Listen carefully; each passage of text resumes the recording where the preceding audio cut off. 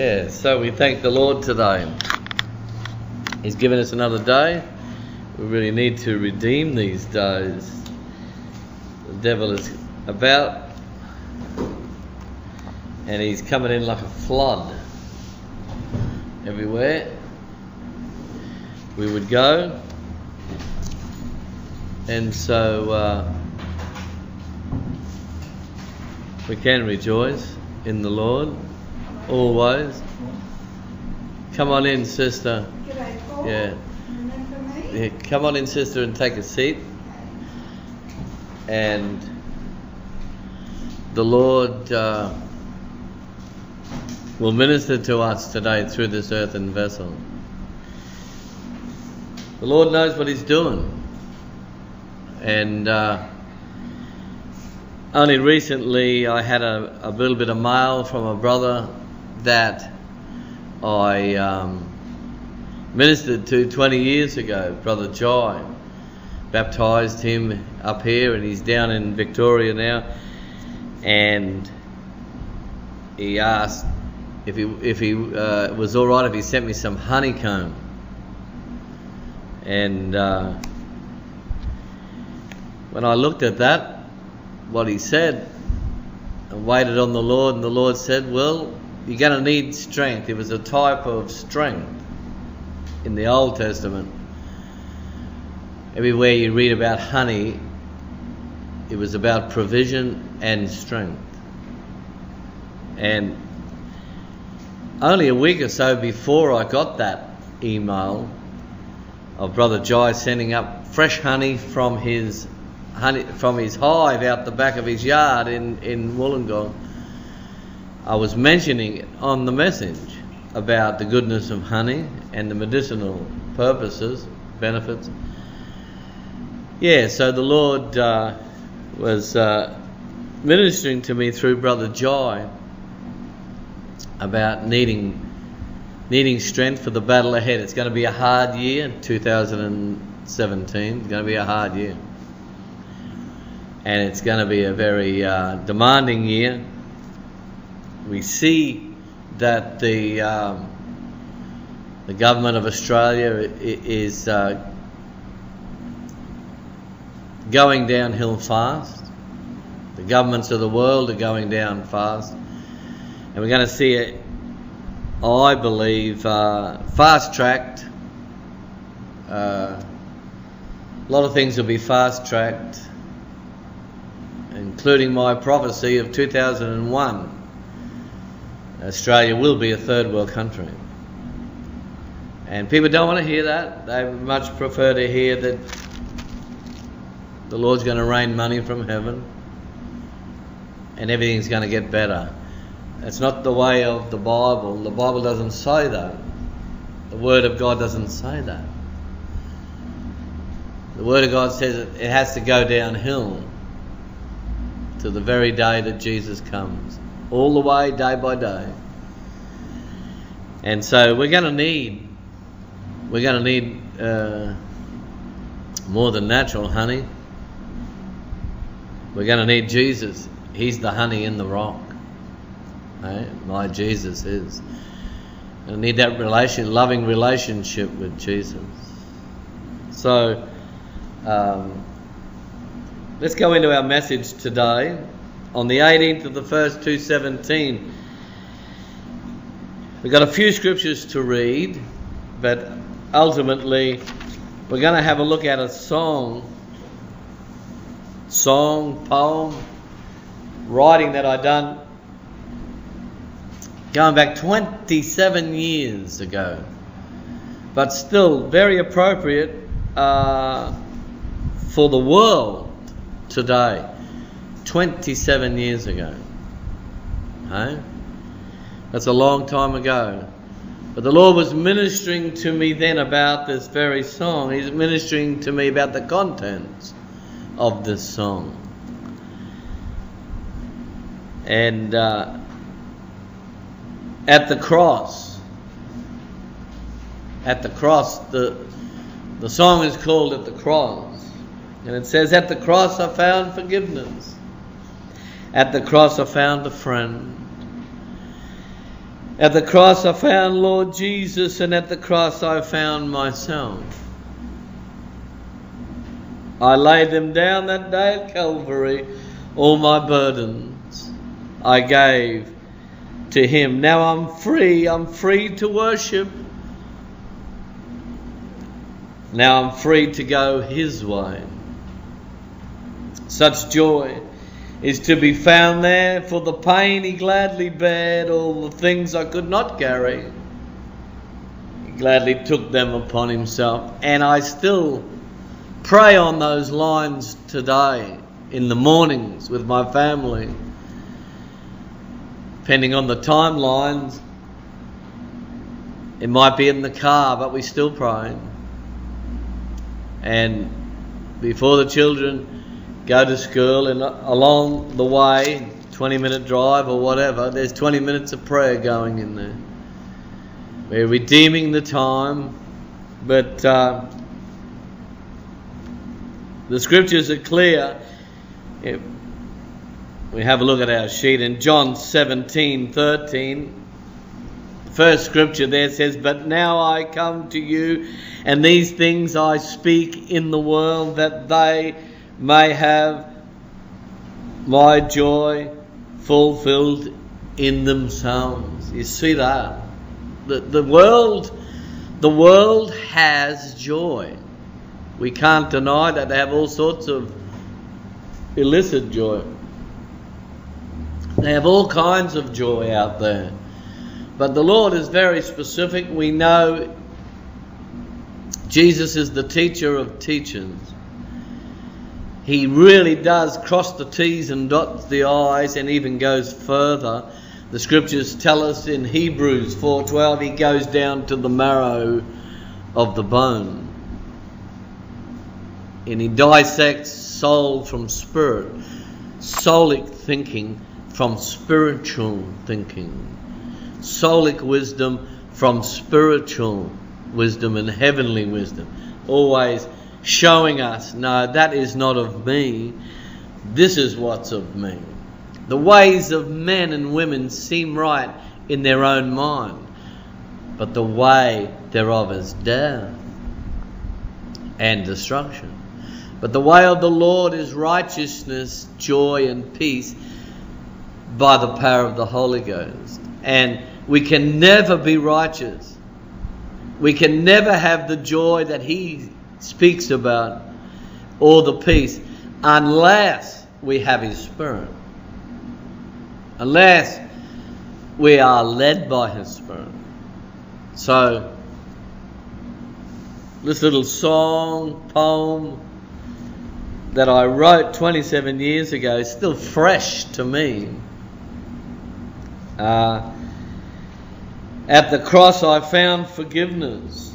I mean, is there anything that the world needs today in 2017?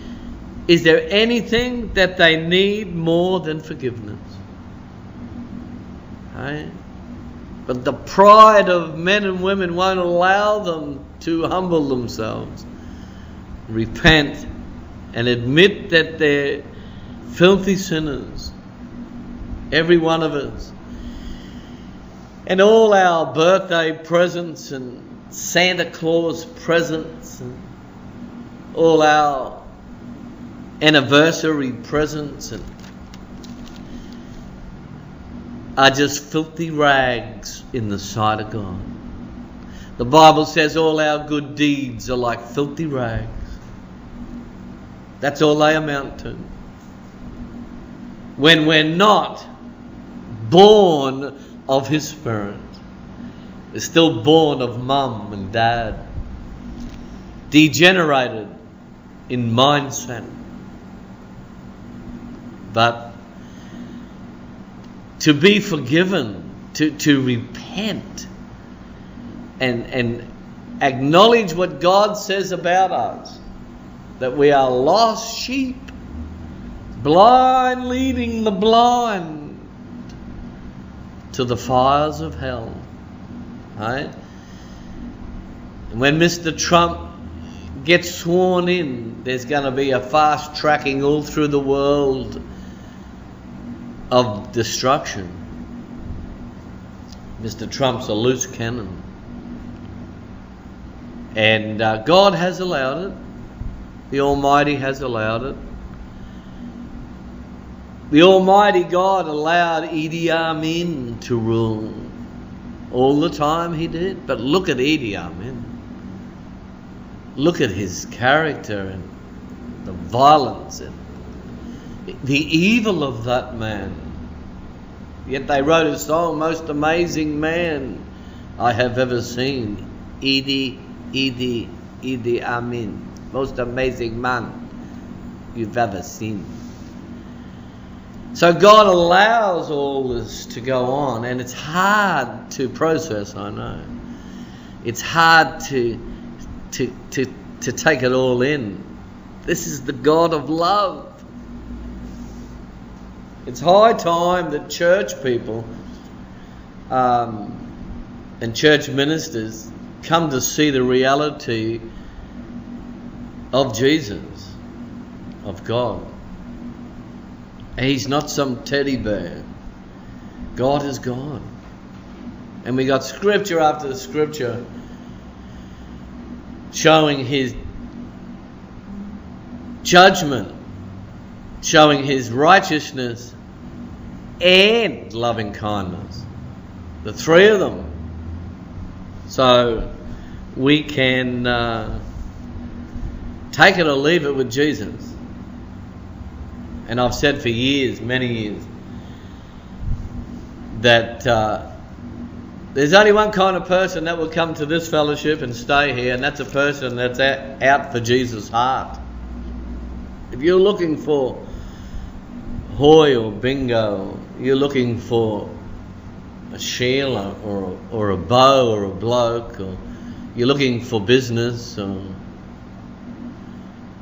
a job or you're looking for something else, you're going to have to go to one of these religious places. And I say things like this because I want to get it across the, the, the waves and the seas to everyone.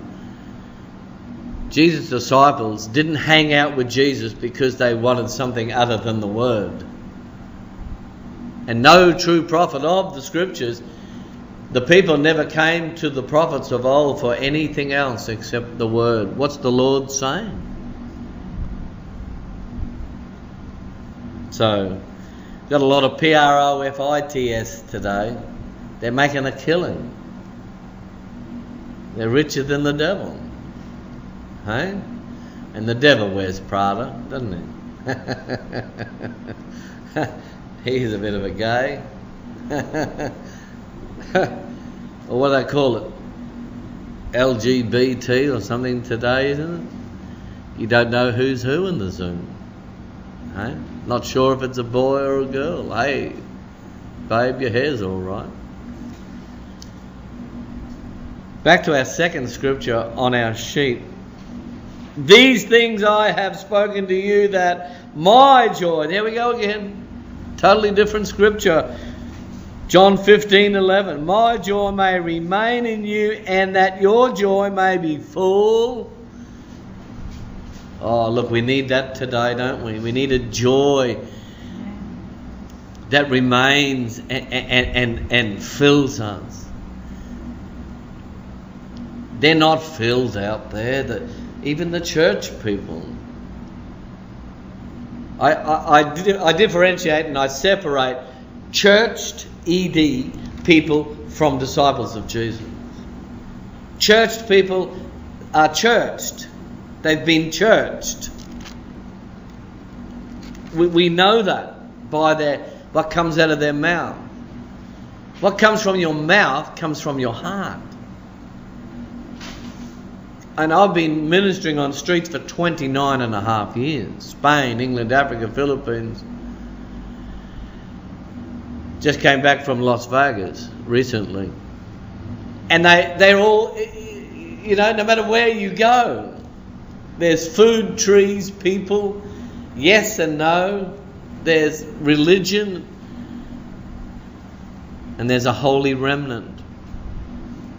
There's big buildings worth millions in prime real estate.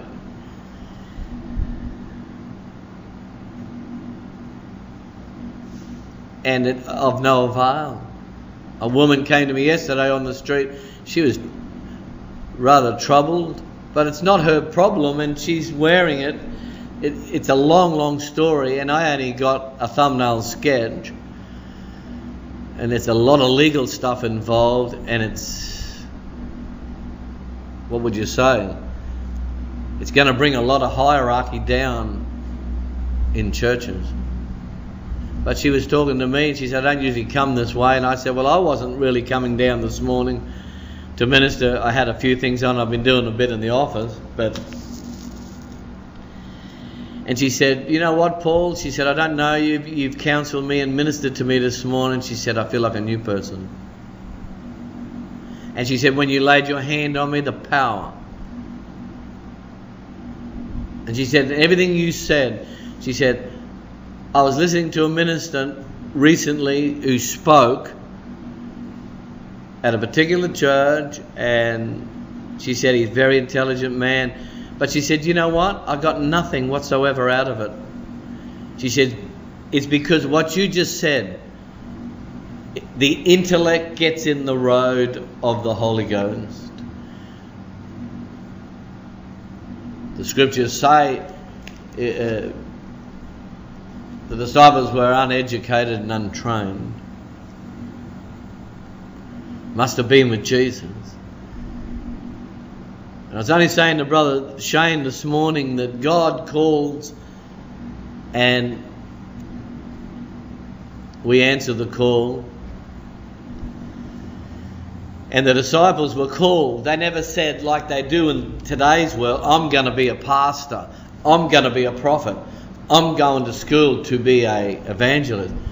That that's not the way of the Bible. That's a that's a delusion. That's the one world church. That's a religious concoction of high-minded men and women. Because I have the best backing I, I could possibly want, and that's scripture infallible scripture. Ephesians 4:11. He who ascended and descended gave gifts to men. Apostle, prophet, pastor, teacher, evangelist. It's a gift. You don't learn a gift and you don't buy a gift. It's a gift. And so when the Lord gives you, it's a natural thing in the spirit. It's like drinking a glass of water. It's a no brainer. It's just a natural instinct for me. I want to drink, I'll pick it up, there's water in there, it's all done. It's like when they said about Jesus reading out of Isaiah in the temple, and they said, Wow, you know, he just finished reading Isaiah and Spirit of the Lord is upon me. Preach the gospel to the poor and um, heal the brokenhearted, set the captive free, put at liberty those who are oppressed by the evil one, proclaim the appropriate year of the Lord. And he sat down and they were just gobsmacked. Well, it's because the Spirit of the Lord was upon him. It's like that Sister Patricia yesterday. She said, Wow, you, you, know, when you laid your hand on me, when you spoke to me, just scripture. It was just scripture. I said, That is the minister, the true minister of the Lord. Scripture. That's 1 Peter 4 11, which says very clearly we're to minister with the ability that Christ has given us. And we're to speak as the oracles of God. That God gets the glory. See, there's no glory for the uneducated and un- untrained. That no Bible college taught me. No man taught me. But the Lord taught me. And it's it's a lot more painful to be taught by the Lord than it is a Bible college teacher. I tell you, you really do learn hands on. So, our message today is going to be called The Burden of Sin. Given our song and our poem, At the Cross I Found Forgiveness, wow, the world is out there right now rich, poor, black, white, known and unknown.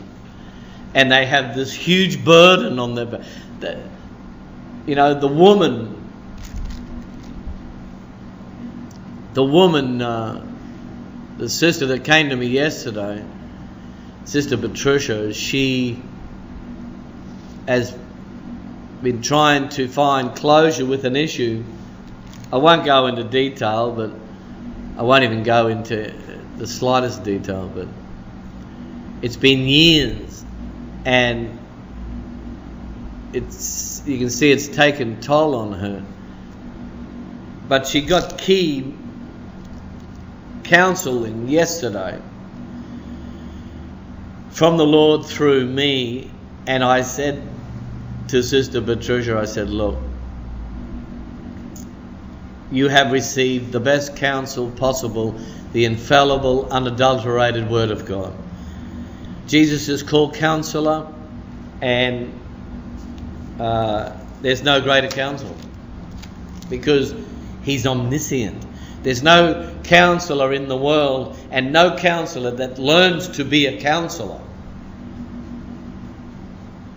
can match it.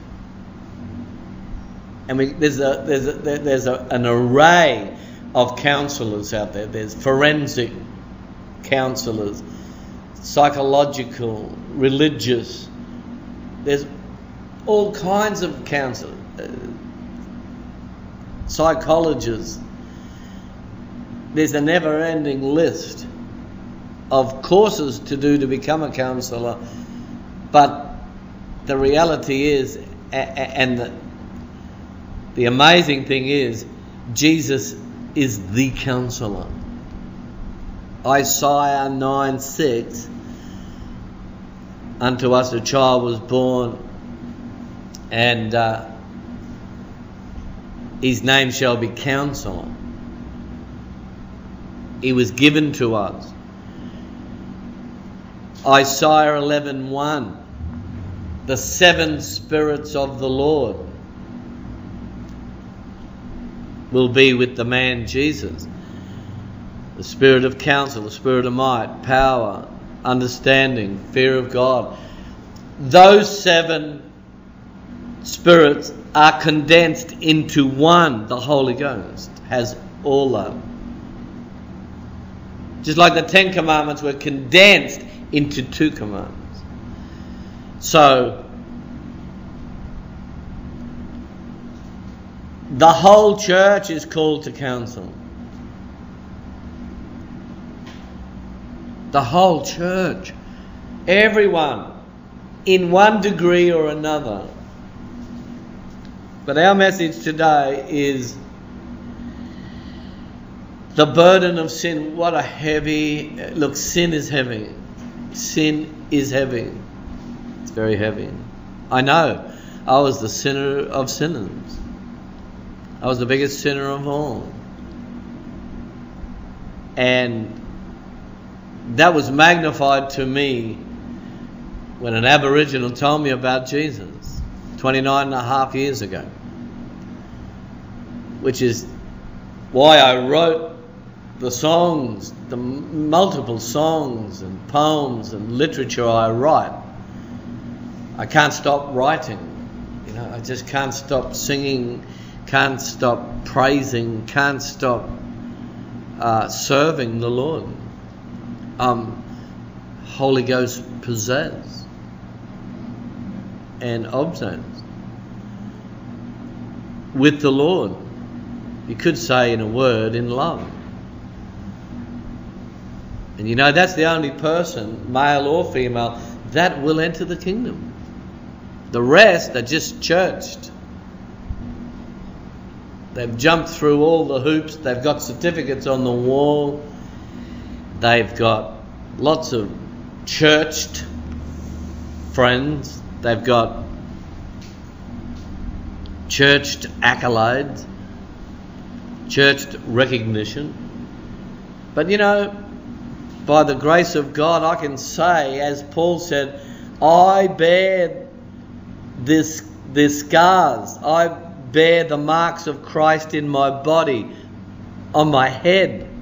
There's scars from when the Muslim set me on fire. Muslim from Saudi tried to kill me. I bear them in my body. I don't need a piece of paper calling me Reverend Doctor Father Mother. I don't need that rubbish. I mean, Jesus said to Moses, you know, when Moses said, Who am I going to say, call me to the ministry? And uh, Jesus said, Tell him I am sent you. That's a big long name, isn't it? I am. So it was sort of like Sister Patricia yesterday said, You've helped me more and I've understood you more than that highfalutin minister that came to the church. She said his words were just dead.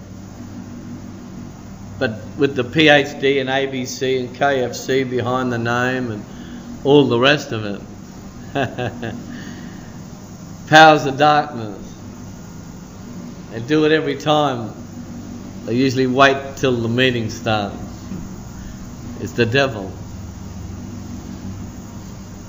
The world isn't aware of the ways and the wiles of the devil. But we, as the people of God, know that Jesus called them the powers of the air. So wherever there be air, wherever there is air, there's powers of darkness endeavoring to influence you in the opposite direction of the Word of God. Trying to influence you to go contrary to Jesus' way. Amen? So, our message today, the burden of sin, very heavy burden. We get abundant relief when we're forgiven. Abundant relief. At the cross, I found forgiveness. You see, the outworking of the cross is, was and is nothing but phenomenal. You can't count the, the beneficial outworking. You can't describe the beneficial outworking of the cross. It's just so great. It's so infinite. But I minister on a few of the beneficial aspects. In this song, I found forgiveness at the cross. And the beginning of picking up our cross and the beginning of acknowledging the Christ of the cross is to repent. That's the very beginning. That lets the Lord know we're willing to pick up our crimes. Picking it up is another story. But we, the Lord sees all things, and our hearts are laid bare to the Lord. And when we truly repent, there's a huge burden called sin lifted off our backs, and we are set free. At the cross, I found forgiveness. I mean, I wasn't aware that I walked for many, many, many years with this burden on my back and this this uh, this sin was the reason my sinful way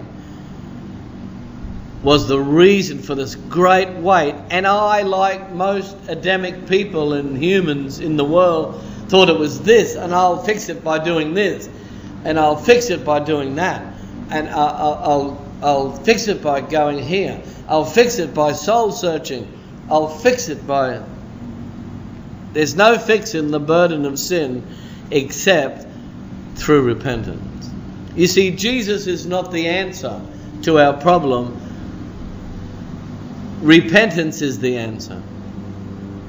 Jesus is the power behind repentance.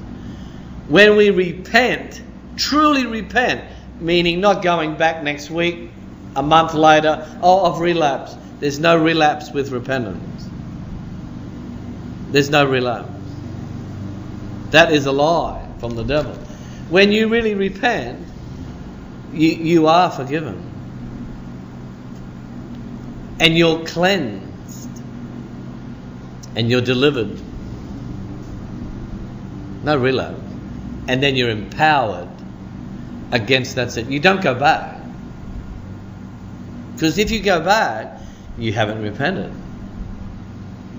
God cannot cleanse, deliver, and empower a person who says they repented and they went back. That's the sorrow of the world. That's not godly sorrow.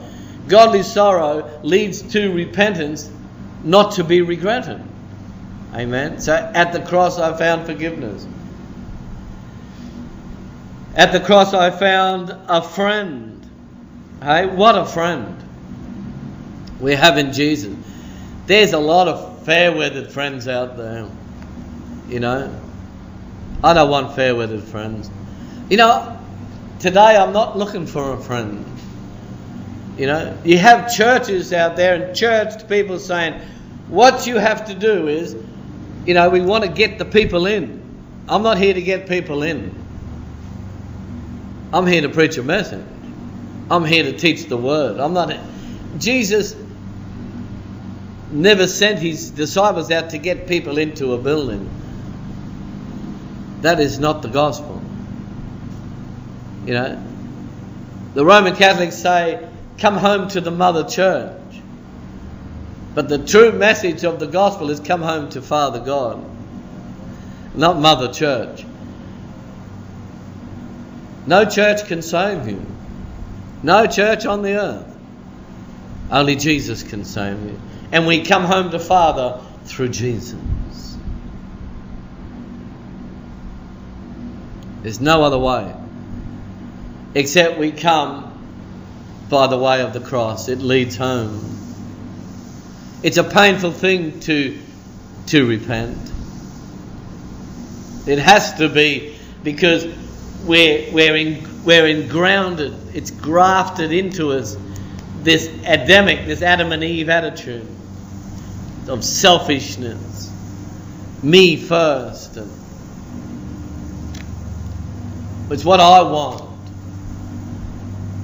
That's what Eve's behavior was. It's about me. She didn't even consider her husband for one minute. She didn't pass the, the decision making by the. What do you think about this, Adam? This uh, serpent is propositioning us. What do you think? It's too late. She she touched touched the, the fruit, and then the decay started that moment. The, the, the, the rot set in between God and mankind. And then Adam went along with it.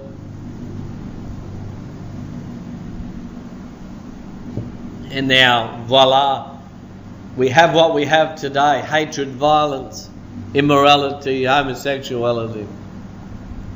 We have all the, the wars. The very first war between was between God and mankind. So we can't blame Mussolini and bin Laden, and we can't blame Hitler.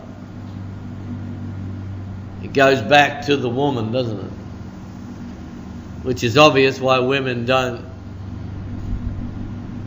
lead churches and run churches. According to Scripture, a woman can never be the pastor of one wife unless she's lesbian, of course.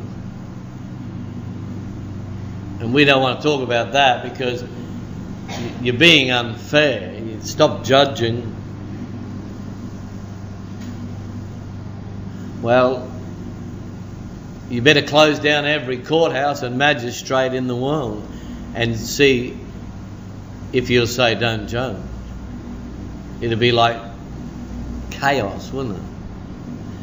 You'd have every evil in the world running rampant in your neighbourhood. You, you, you, you take the police away,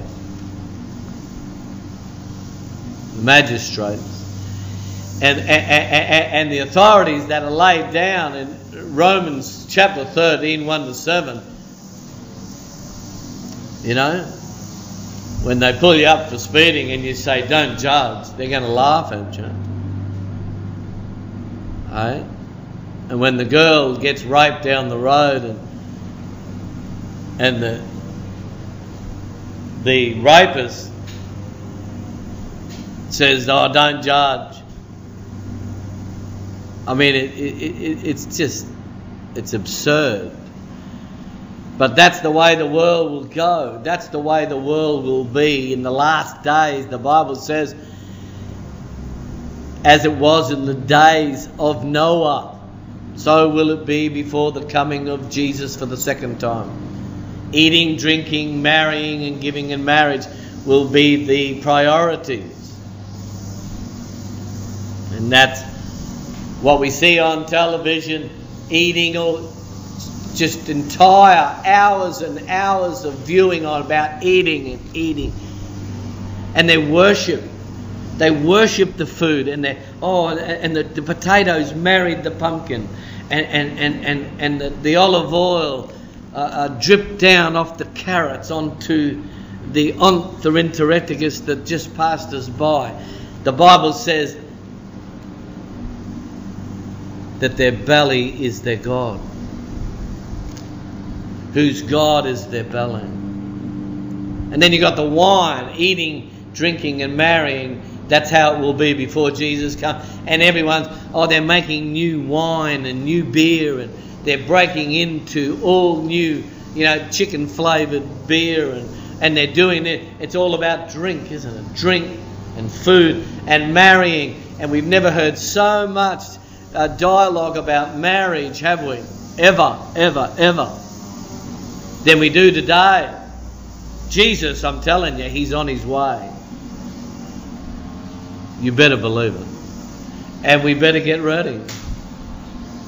We better get ready because He's not coming back for a Dalmatian bride.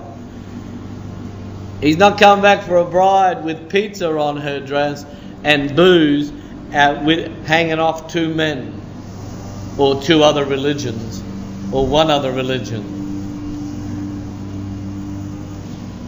He's not come back for a bride that's hugging her family tree.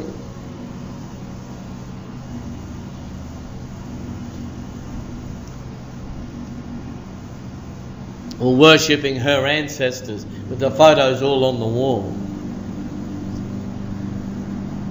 Who's so proud that they are Irish.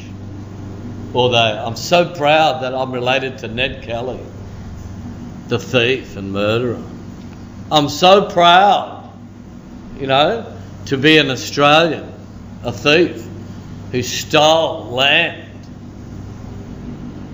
I'm so proud, you know, to be this. I'm so proud to be that. We just got to face the facts. Because of sin and the burden of sin, we're weighed down to these depleted attitudes. We're bogged down there has to be repentance. You know, I'm so proud of my family name. I'm not.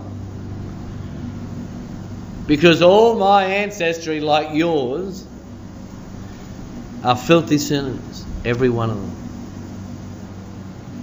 And all their good deeds were like filthy rags.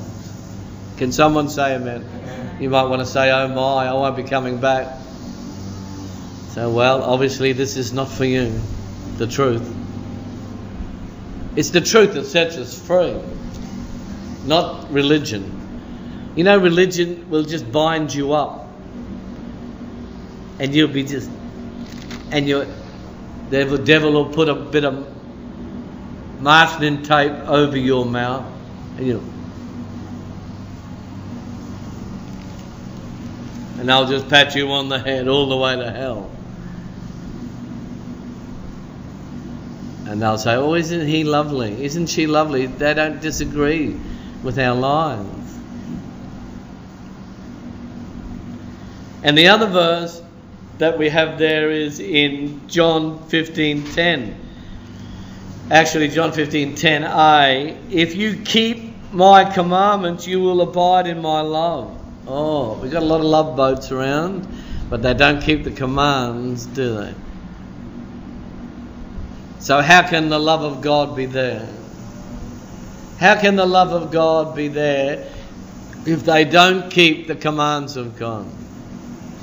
Hey? The love of God cannot be there. It's either lust or, or, or it's either, you know, worldly or, or, or carnal fr- friendship, whatever it may be. whatever it may be. But it certainly isn't the love of God. Paul said to the Corinthians in 1 Corinthians, I'm pretty sure it is, chapter 13, verse 6 Love rejoices in the truth. Isn't that right, love? Love rejoices in the truth, not in sin. 1 Corinthians 13 6. That's the love chapter. You know, God is love. God is love. 1 Corinthians 13 6. Love rejoices in the truth. But love does not rejoice in sin. The world rejoices in sin. They love sinning. They love it. It's like taking away their identity. If you try to take this, they love sin. They thrive on it. I used to. Oh, I love sinning. I just loved it. You know? And it's a it, it, it's a great burden. But yet the world love it. So that gives us a forward slash insane. It's insanity. We know the Word of God tells us through Paul the Apostle to Timothy that God has given us another spirit, not, not the spirit of the devil. See, it was the spirit of the devil that influenced Adam and Eve. And she said, Yes, okay, we'll, we'll listen to you, Satan the snake, the serpent of old, we'll listen to you. We won't do what the Lord said, don't touch the tree. We'll do what you said. And behind every teaching is a spirit. And, and you're going to go away today, and those listening worldwide, and this will go on YouTube like the other 760 or whatever there is there. And you're going to go away today and, and, Ask yourself which spirit was behind Pastor Paul Sheehan today? Was it the spirit of the Lord or was it the spirit of the devil? You've got to ask yourself that. And if you say you have the Holy Spirit, ask Him. Ask the Lord. I'll guarantee you it won't be the spirit of the devil, the answer, because I'm not speaking the, the word of the devil. I'm speaking the words of Jesus. Pure, proven like silver in the furnace seven times. Amen. Infallible, unadulterated word of God. So many people say they love Jesus, but they don't do what he says.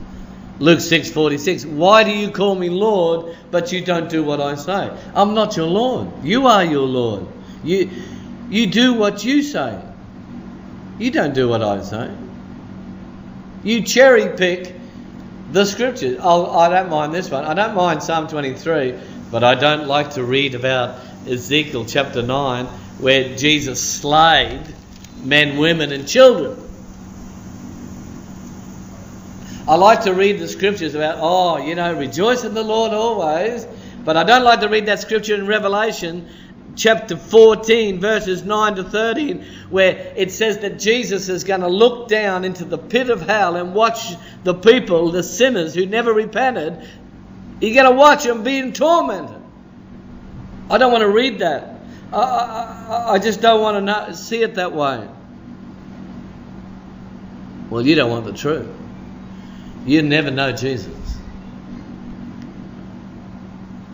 You're not really accepting Jesus. You're not even receiving Him. Because to receive Jesus is to receive His judgment, righteousness, and loving kindness. You're actually putting Jesus down, saying, Oh, well, I don't like that piece of you. It's not a piece of Him. His judgment is, Jesus is judgment. Jesus is love. Jesus is righteousness. Jesus is God, Almighty. Manifested in the flesh, justified in the Spirit, seen by angels, preached on to Gentiles, received on in the world, and received up into glory. Jesus is Jesus. But Jesus is not Father, and Jesus is not Holy Ghost. Father is Father, Jesus is Jesus, Holy Ghost is Holy Ghost. The three are one, and they are all gone. And everyone said, oh, I'm going to say hallelujah. So, our message today the burden of sin. Oh, what is wrong with me? How many people are slogging Valium? How many people are slogging drugs and drinking themselves stupid and, and, and maxing out on their credit cards and shopping till they drop to try and shake this burden that's on. They don't know what it is, so they go to a psychiatrist or a psychologist, and they, the burden somehow just begins becomes worse. It's sin. Sin. We know it's sin because we read the, the Word of God, and the Word of God says, through a, a humble man by the name of King David, who was a great, great man, in Psalm 51, and the scriptures read that he said, Oh Lord, I have sinned when he went off with Bathsheba. In Psalm 51, let's have a just a quick look there. In Psalm 51, verse 4 Against you, you only have I sinned and done this evil in your sight, that you may be found just when you speak and blameless when you judge. And then we go to Psalm 51.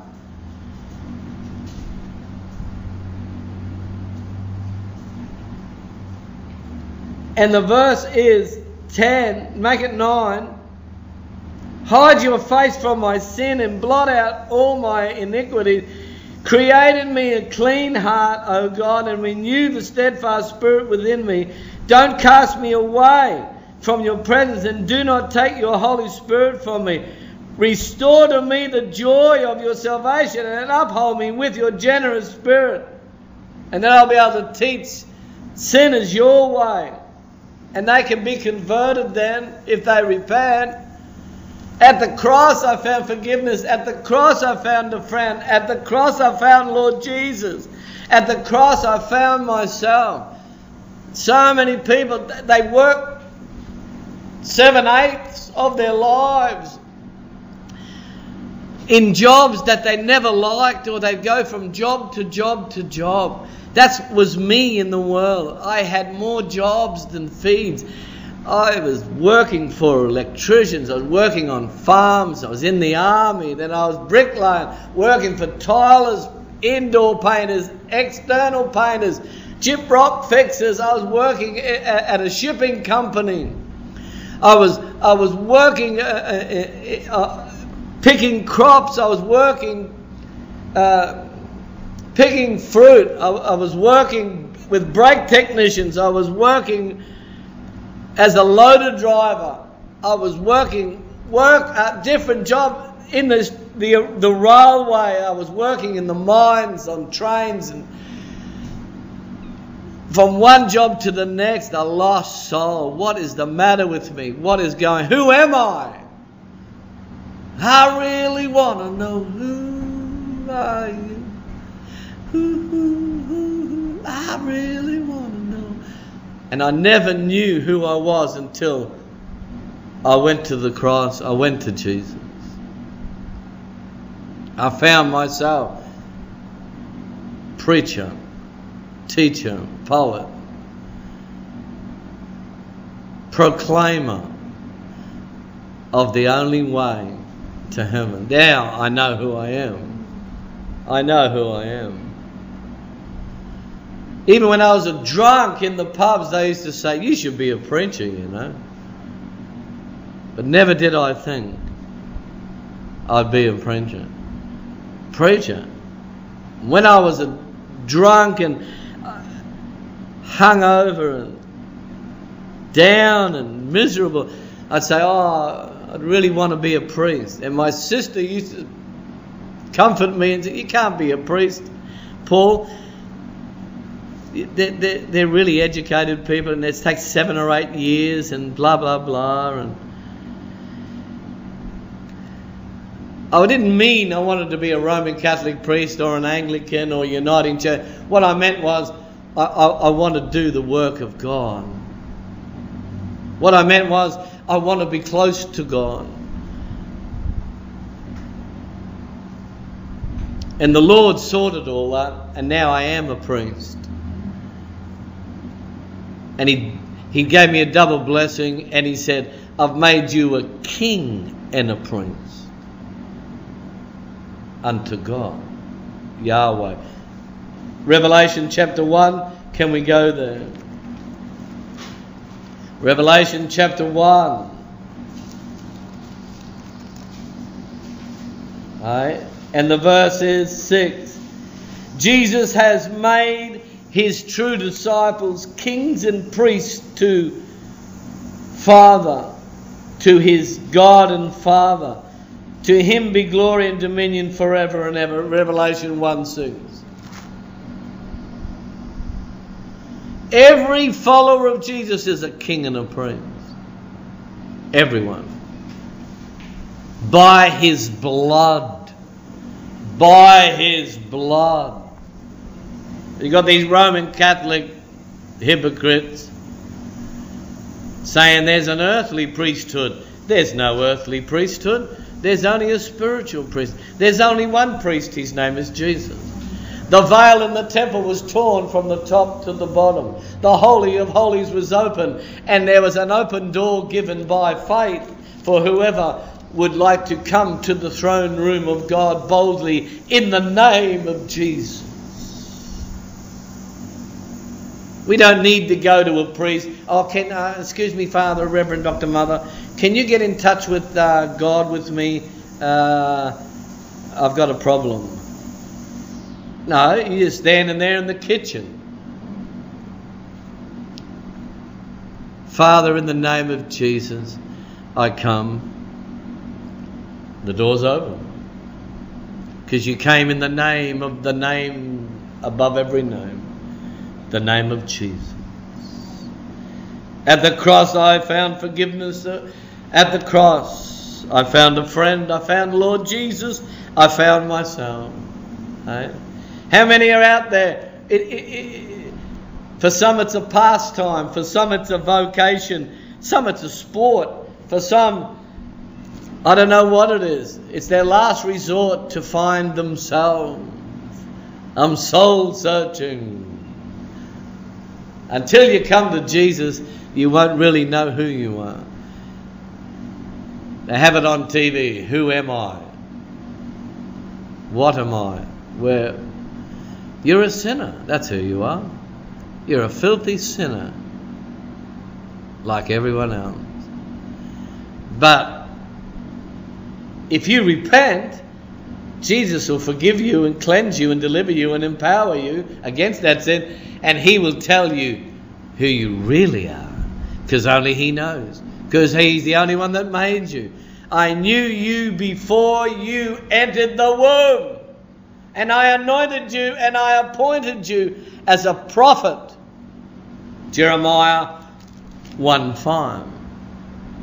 I knew you before you entered the womb. See that? We've got to go to our Creator. When you have a car and you don't know what's wrong with the car, has it got a manual? Yes. Let's have a look. When in doubt, read the manual. And us as new creatures, we have a manual from Emmanuel, the Word of God. And He will tell you who's who in the zoo, who your real brother is, who your real mother is, who your real sister is. He will tell you. They are my mother, sister, and brother who hear the word of God and do it. The rest, history. History. I laid them down that day at Calvary, all my burdens I gave to him. Now I'm free, free to worship. I'm free to go his way. That word burden there.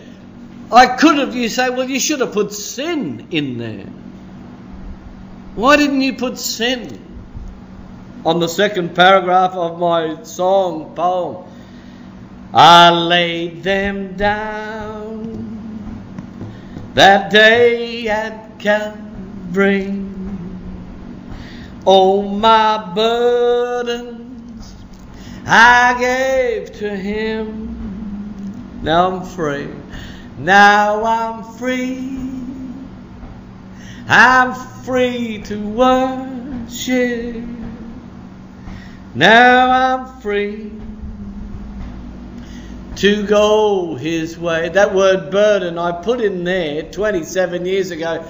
I didn't want to just say sin because there's there's other things in our lives that are not sin that we need to be delivered on. Not just sin. Because, you know, sin is a burden, but there's other burdens that we have. We, we take it upon ourselves. Inferiorities and all sorts of things that aren't sin. But sin is the biggest burden of all. Right? And we have to give it over. We have to hand it, give it up. And the freedom will come. The liberty, the joy, the peace. It will come. It will be heavenly. The Bible describes it as mounting up with wings like eagles, running and not getting weary, walking and not fainting, soaring with the eagles, not in a chook pen, eh, digging around in a smelly, Stinky, you know how chook pens stink? That's like sin. Sin is a stench to the nostrils of God. He's not coming back for a bride that stinks. He's coming back for a spotless bride, a sweet smelling aroma and fragrance to his nostrils. Right? See, we worship the Lord in, in the spirit of holiness by the Holy Spirit, by the leading of the Holy Spirit. I laid them down that day at Calvary. All my burdens and sins I gave to Him. Now I'm free. So many people aren't free to worship. And when we think of worship, we think of, you know, ding, ding, ding we think of hands in the air, don't we? Oh, worship. How great thou art. We think of worship songs. That's what we're taught. I'm free to worship. Oh, I'm going to sing, sing, sing. But no, the scriptures tell us that Abraham worshipped God. When he went aside and he told the others to stay there, and he had the knife in his hand, and he's going to kill his son for Jesus. I'm going aside to worship. Obedience is worship. If you're playing some guitar, playing the drums, and playing a harp, and singing like a bird, and you're not obedient to the Lord, it's just rubbish. God don't hear it. He said, What was that down there? Oh, some noise, I don't know. Just a clanging cymbal. I don't know what it was. Did you hear that, Jesus? True worship, obedience. Right? Obedience. The Lord our God. How wonderful. Now I'm free, free to worship. I'm free to go His way. Look, you can't go the way of the Lord. You can't do what Jesus says with sin in your life. You will never take flight with sin in your life. Never. Ever. You will not leave the tarmac. You just go around. You'll look like a plane. You'll sound like a plane. And you'll go around that tarmac like a plane, but you won't fly like a plane. It just won't happen. You'll just never get it. It'll just be religion. You'll just be churched. And you just go like a robot to a building on Sunday. And then you'll take the usual coins out of your pocket. Oh, well, don't want to give too much to Jesus. You know, he hasn't really done much for me lately.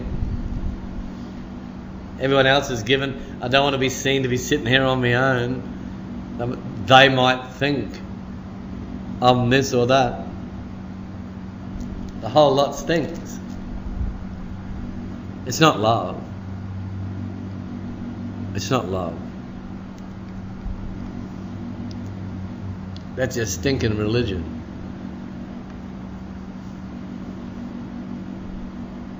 Love is when you, you have that freedom. Love is doing what Jesus says. We read it. If you keep my commandments, you will abide, you'll live in my love. You will live there. That will be your house. You will fulfill the new covenant. You will love the Lord your God with all your heart, soul, strength, and mind. The first and great commandment the second commandment is not great. Remember that. It's just the second command. It's like like the first, but it's not great. People are second, always. Always. I don't care if it's your wife, I don't care if it's your children, I don't care if it's your husband, I don't care who it is. I don't care if it's your dad who bought you your first soccer boots. Second, Jesus is first. It's not family first. You see that advertising? Stickers on cars. Family first. Everyone goes, oh wow. That person must be really loving. Hogwash. How can they be? They don't have the love of God in them. They don't abide in God's love. Because the God of love is not first. If you keep my command, you will abide in my love. Right?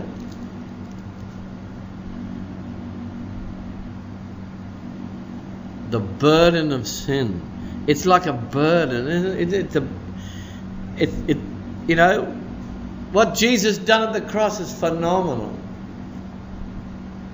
It's just beyond. You could preach on the cross every day, every night, till you died Because there's so much going on there. So much happened at the cross. At the cross, I found forgiveness. I can't help myself. I have to sing it. At the cross,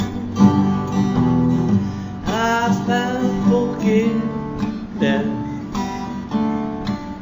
At the cross, woo, I found a friend.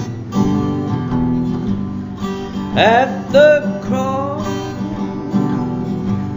I found Lord Jesus. At the cross. I found myself. I laid them down that day at Calvary. All my burdens, I gave them to Him. Now I'm free.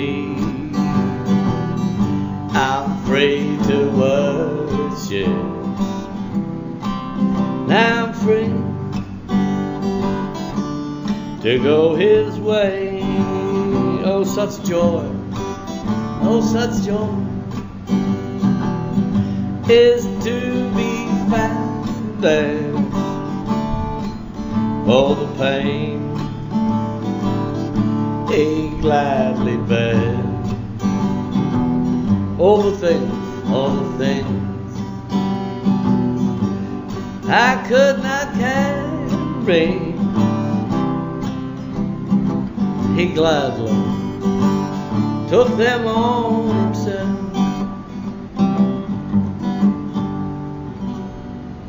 See the joy, the joy, because he took all that stuff, every single bit. I don't care what it is, the past, the now, the yesterday, the tomorrow.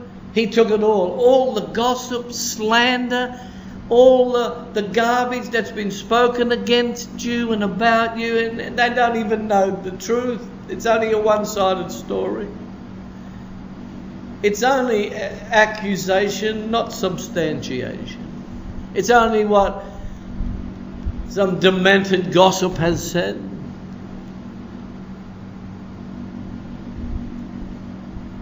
Oh, such joy is to be found there. The Bible calls it unspeakable, joy unspeakable, and it is garnished with glory. Joy unspeakable and full of glory. The joy that comes with walking with Jesus, not religion. I hate stinking religion. It stinks, it's putrid.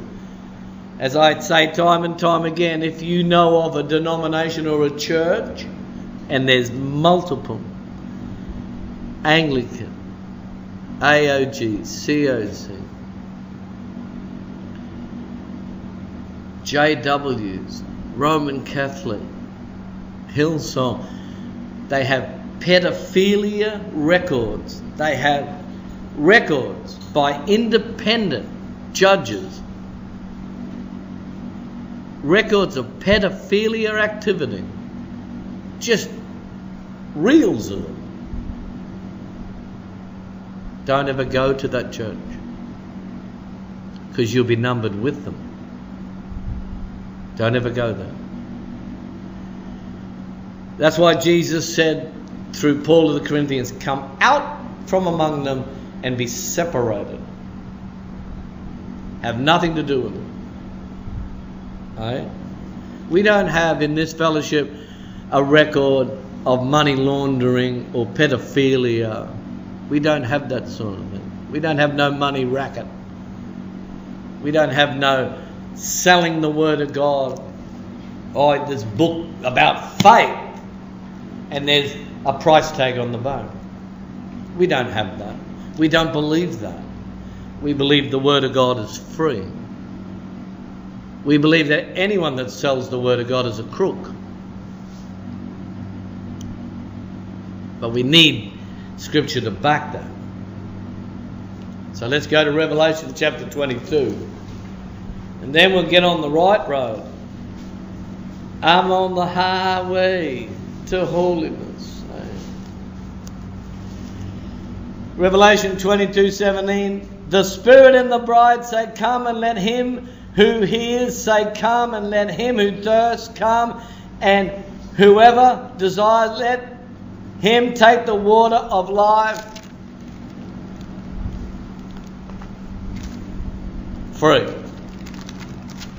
Who said that?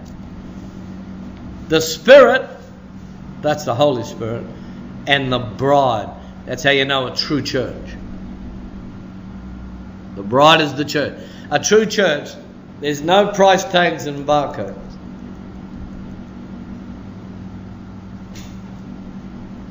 This ministry has always given everything free. By faith. All books, CDs, DVDs, all literature, everything. That took a lot of hard work to do. No messing around. Takes a lot of hard work to put books together, manuscripts, CDs, DVD, a lot of hard work. Free.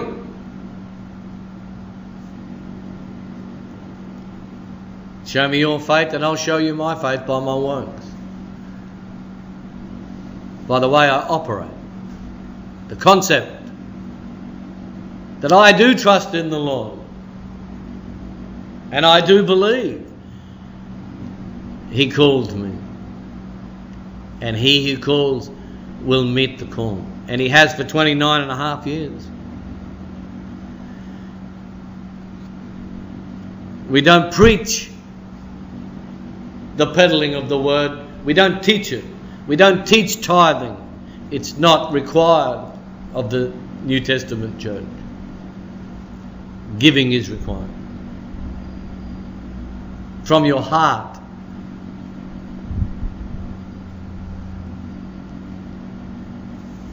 It should be a love thing. It's a loving thing the minister ministers the, the, the, the, the gems and the rubies and the diamonds of revelation knowledge. That's a loving thing that He gives that, but you can't get anywhere else.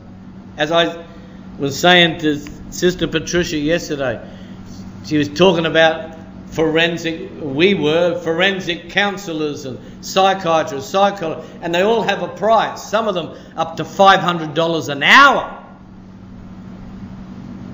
Counseling.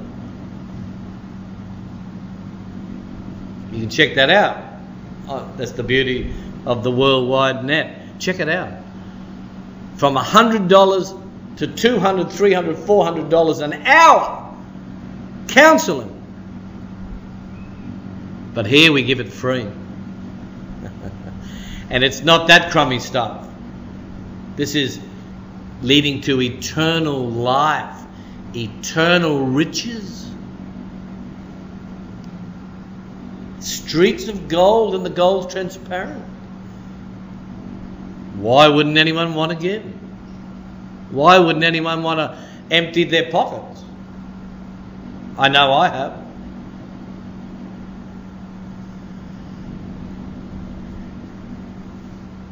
Comes back to that burden of sin, doesn't it? Self. The biggest sin of all, isn't it? Self. self. That God gave His Son. Father gave His, gave his Son for pedophiles. Gave His Son for lesbians. Gave His Son for drunkards and wife bashers, child molesters. God gave His Son for these so they could repent, so they could come to the cross, so they could Find forgiveness and a friend. Because sinners are lonely. Did you know that? Sinners are lonely people. That's why they sin. Because they're so lonely. And they'll find Lord Jesus, they're waiting like this. Welcome to my world. Won't you come on in? Miracles I give still happen now and then. Step into my heart and leave your cares behind. Welcome to my world, built with you in mind. In my Father's house are many mansions. If it were not so, I would have told you so, but because it is so, I go and I prepare a place for you.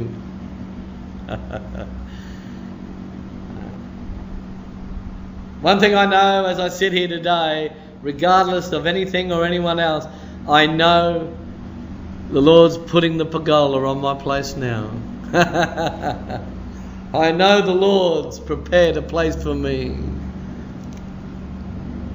I know that. I know it with beyond any measure of doubt.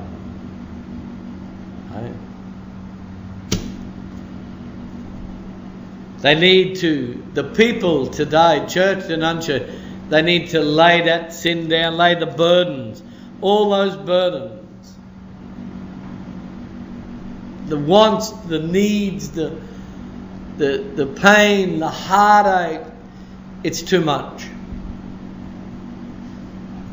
What Adam and Eve created was a burden that's just too much for humanity. It's far too much. We can't carry it. We heard what David said, didn't we? All the things that he said talk about the burden of sin. My heart is unclean. It's a burden of sin. Right? Psalm 51. Let's have a quick look at that. Psalm 51.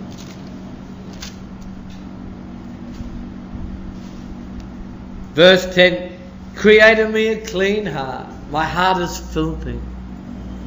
Because of sin. Because of sin. Do not cast, or better still, and renew a steadfast spirit within me. Sin causes us to waver, go here and there and everywhere, all over the place. We're not stable. We're in and out, aren't we? We're backslide for a month, come back again. Sin. Psalm 51 and the verses 11 Do not cast me away from your presence and do not take your Holy Spirit from me. See the burden? The burden of sin? And God has cast that away. He's cast those people away who are in sin. Actually, He said He's going to cast them into the lake of fire and brimstone. What a burden. They don't know that out there in the world, but they know there's something really heavy. I don't like this feeling, it's really bad. Because they're on the road that leads to hell.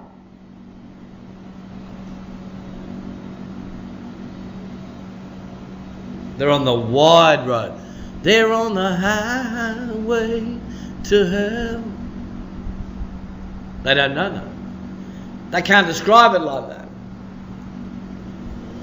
Hey? They can't describe it like that. Psalm 51 12. Restore to me the joy of your salvation. Salvation has joy. Look at these church people. Are they joy filled? They look like they've been baptized in vinegar because they're religious. They're not saved. Joy! Joy! The joy of the Lord is our strength. He gives me living waters, and I thirst no more and hunger no more for the things of the world. And everybody said, Amen. Psalm 51 and uphold me with your generous spirit. Hey? He, he, he noticed that this, the Holy Ghost wasn't empowering him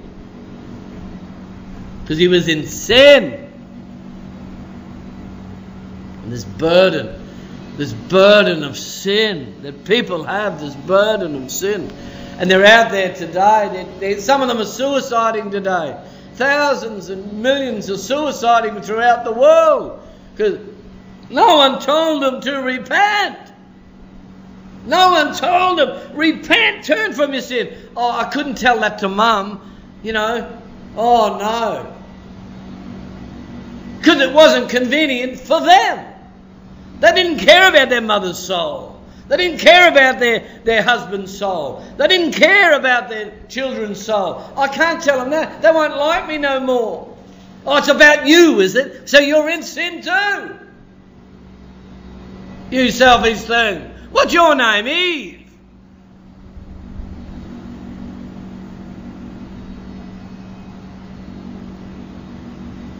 Mm. Psalm 51. 13. Then I will teach others. Transgressors your way, and sinners shall be converted. The unconverted churchgoer will not be saved. We have to be converted. Unless we become like little children, be converted, and pick up our cross and follow Jesus, we won't be saved. But today's world and churches, they have this free lance, free for all, everyone's going to heaven, just be a nice person. Nah. No such animal will enter the kingdom.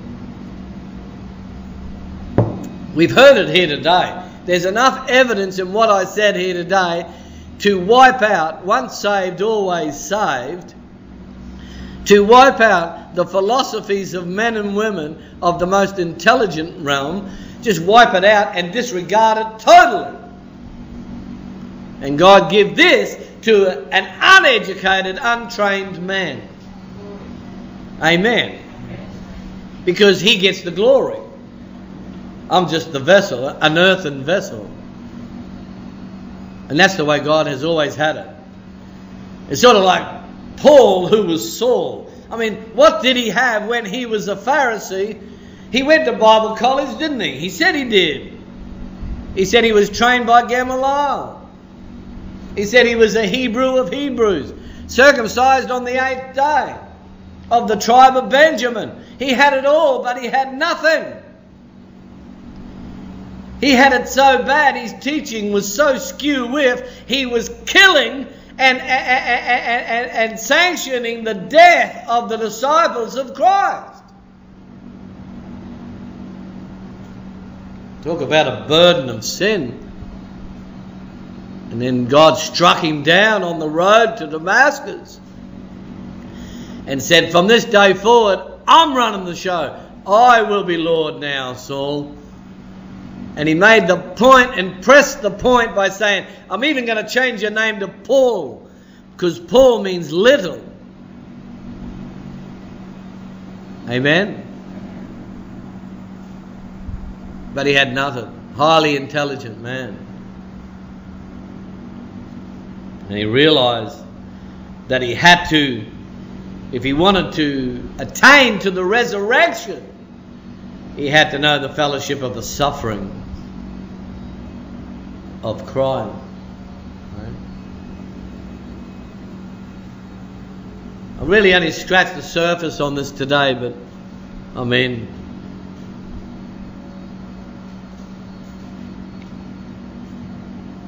a lot of people are finding so-called treasure. Like I said on last Sunday, uh, diamonds they're finding as big as footballs in, in the Philippines, uncut like that. But still poor. Kerry Packer died a pauper. Did you know that? Kerry Packer, he died a pauper, and so will his son, and so will the Murdochs, and so will Bill Gates and his family. They'll all die paupers if they don't repent. If they don't repent, they will die paupers. Let me guarantee you that on the 18th of the 1st, 2017. The scriptures say so. Hey? Let's open our Open our Bibles. John 17, 3. I'm going to finish up. John 17. And the verse is 3.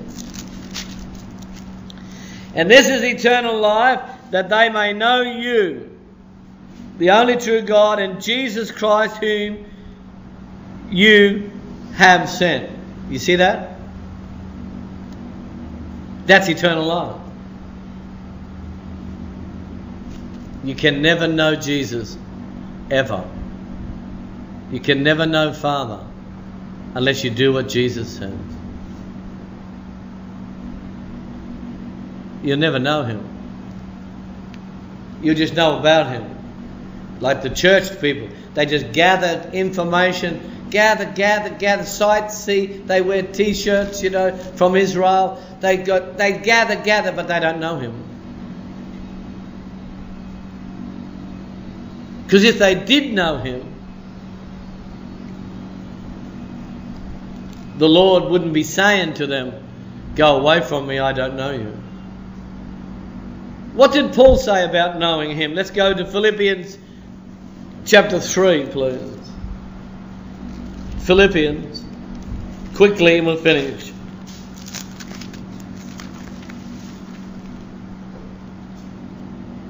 Philippians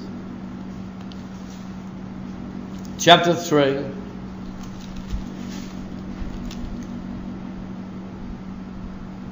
Just bear with me. Philippians chapter 3, verse 10. That I may know him and the power of his resurrection and the fellowship of his sufferings, being conformed to his death if by any means I may attain to the resurrection from the dead. That's how that's how you're going to be saved. We have to know him. We have to know him. The power of his resurrection. That that's not living in sin. Because Jesus came to take our sin away and resurrect us out of the mud of sin and the fellowship of his sufferings. Are you suffering for Jesus' name today? Have you suffered? Do you suffer for Jesus?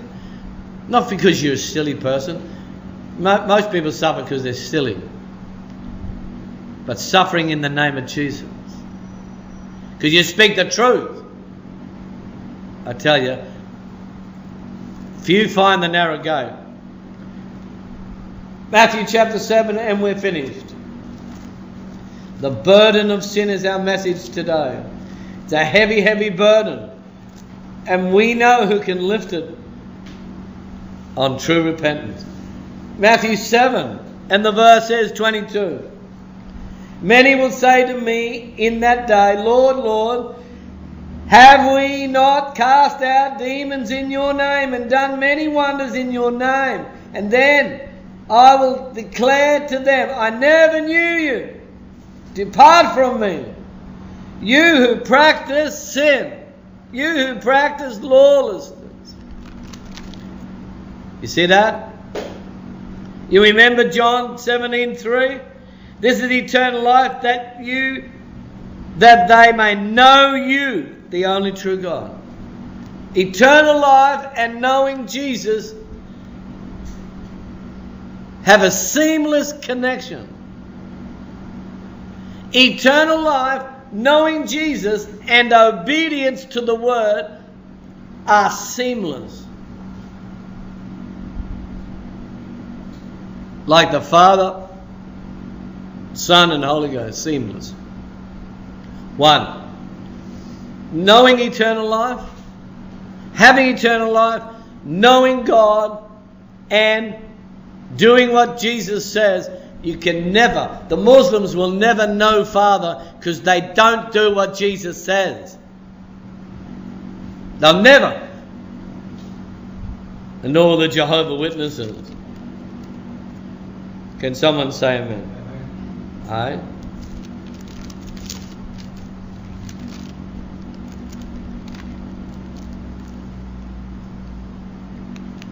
I'm going to finish now. on John 14, verse 23. This will put the cherry on the cake, so to speak, with the last few verses I've been reading, which is John 17, 3, Philippians 3, 10, Matthew 7, 22, 23. This is John 14, 23. If anyone loves me, he will keep my word, and my Father will then love him. And then we will come to that one and make our home with him. He who does not love me does not keep my word. They do not love Jesus. They just say they do. And the, the word which you hear is not mine, but Father's who sent me.